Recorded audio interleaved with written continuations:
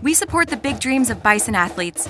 If you believe it, you can achieve it. Geisinger is the official sports medicine and orthopedics provider of the Bucknell Bison.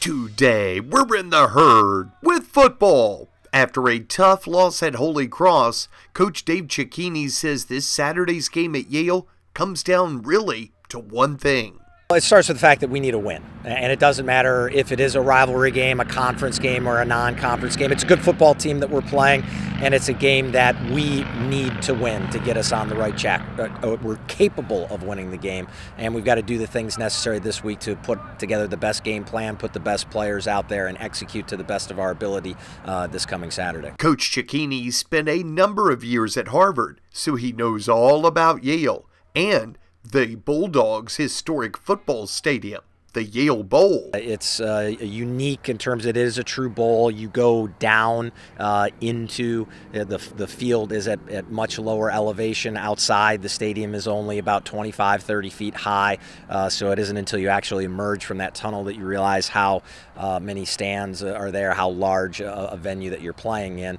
So it's going to be fun. It's, it's a historic stadium. It's not going to be a huge crowd like they got back in the early 1930s or whatever it was, but uh, it still should be a, a really good time. Junior quarterback Nick Semptimphelter started against Holy Cross. He says things didn't go the way he and the team wanted, but all of them are looking forward to getting back at it against the Bulldogs. You know, we had a rough game last week, and we are just trying to get back on the field. And you know, we can we can't be more excited uh, for another opportunity to get back on the field and put up some more points and try to get this thing going in the right direction.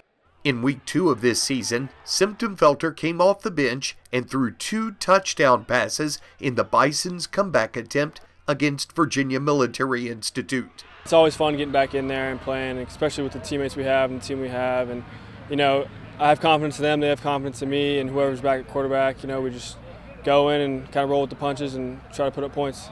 The Bison and Bulldogs will get it underway at noon on Saturday, and you can listen to the game right here on BucknellBison.com.